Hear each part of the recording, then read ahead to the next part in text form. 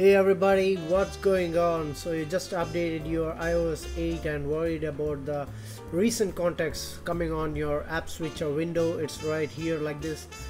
And uh, so don't worry guys, you can just remove it. Uh, to remove it, go to your settings, scroll down and find uh, mail, contacts and calendars. Now you've got to go down and find contacts.